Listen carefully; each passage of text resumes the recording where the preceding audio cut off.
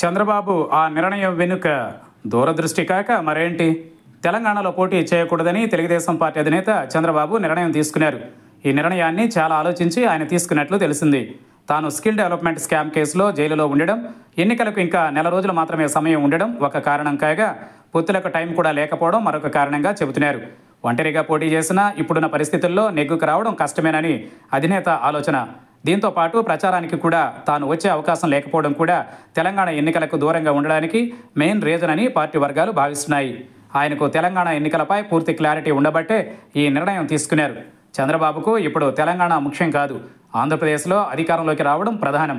అందుకే జైలు నుంచి విడుదలైన తరువాత తెలంగాణ ఎన్నికలలో రోజులు సమయం వృధా చేయకూడదని ఆయన భావించారు. ఇటు అక్కడ కొన్ని సీట్లు మాత్రమే సాధించుకోగలం. దానివల్ల పార్టీకి పెద్దగా ప్రయోజనం ఉండదు. అదే ఎఫెక్ట్ ఆంధ్రప్రదేశ్లో బెటర్ అన్నది చంద్రబాబు భావన. అందుకే ఆయన తెలంగాణ ఎన్నికలలో పోటీ చేయకూడదని భావించారు. నిర్ణయం తీసుకున్నారు. అభ్యర్థుల ఎంపిక నుంచి వారికి నిధులను సమకూర్చడం కూడా ఇప్పుడున్న పరిస్థితుల్లో కష్టతరం అవుతున్న నేపథ్యంలోనే ఈ డెసిషన్కు వచ్చారని అంటున్నారు. ఆంధ్రప్రదేశ్ ఎన్నికలు చంద్రబాబుకు ఈసారి చావో రేవో. ఈసారి ఓటమి పాలైతే అసలుకే అసలు వస్తుంది. పార్టీ మనుగడ కూడా కష్టమేనని ఆయనకు తెలియంది కాదు.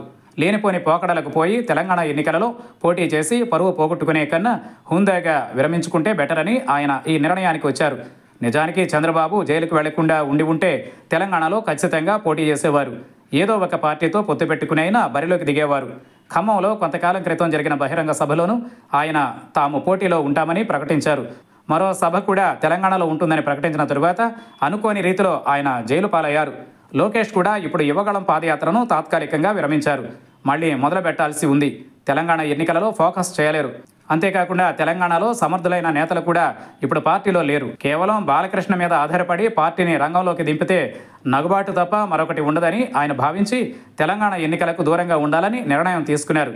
మరోవైపు బీజేపీ కూడా పొత్తుకు ముందుకు రాకపోవడంతో ఏపీలో రానున్న కాలంలో అలయన్స్ విషయంలో ఎటువంటి ఇబ్బందులు లేకుండా తెలంగాణ నుంచి స్వచ్ఛందంగా తప్పుకుంటున్నట్లు ఆయన ప్రకటించాల్సి వచ్చింది.